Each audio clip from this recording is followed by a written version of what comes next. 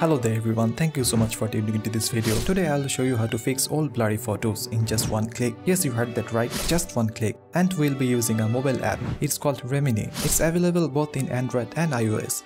Before you start, please do me a favor, hit the subscribe button to support this channel. Okay, although this app is not 100% free, but you will get to use 5 images per day and I think this is more than enough. When you open the app, you will see tons of features. In this video, we'll be focusing on restoring old photos. So first select enhance and for our first example, let's use this photo. If you look at the face, you will see it's blurry, not clear at all. What you have to do now is just touch the red checkbox. Since I'm using a free account, an ad will show up and after the ad, we'll get the result. Okay, here it is. Let's zoom in. See, just look at that. This is the before and this is the after. It's so amazing, isn't it? Remini's this feature works perfect for these types of photos where there are some details to work with. But in this video, we'll go extreme. You can enhance it one more time. See there is an option at the top, enhance to, but I found out this doesn't do much. Let's do it anyway. It will show up another ad. Every time you do something, you gotta watch an ad. But for a free account, this is fine. Okay, so this is the result of the second time enhancement. Like I said before, enhancing it second time doesn't do much.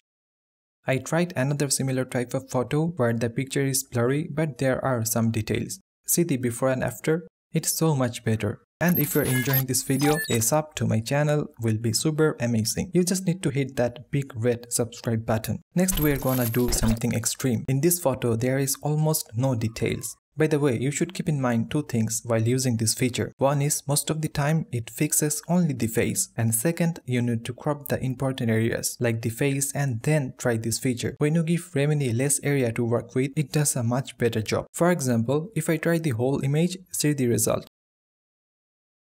There isn't much changes. Now if I crop the photo and remove everything except their faces, see what happens.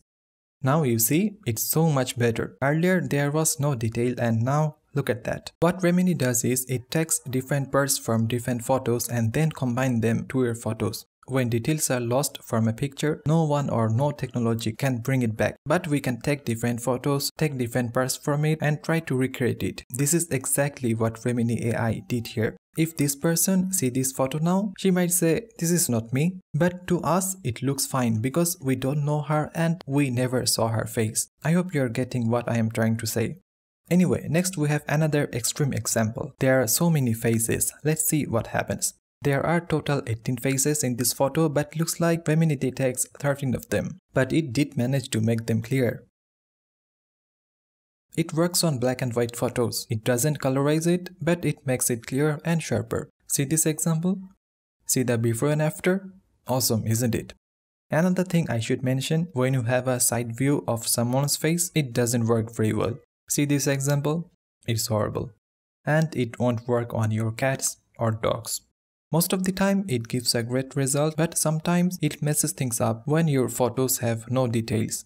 Remember this example? It's kinda look good but as soon as we zoom in, you see it's not that perfect.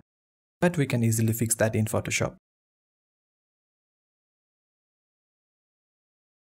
There's one more feature I wanna share with you. It's not photo restore related, but you will like it. It's called Face Animator. Select a photo that has a face and wait for the magic. It's funny and at the same time, it's cool, isn't it?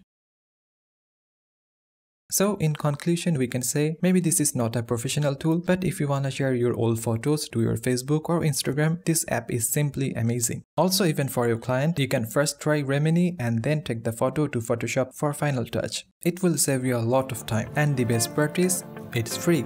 I hope you enjoyed this video. If you did then don't forget to like and subscribe my channel. Thank you so much for watching this video.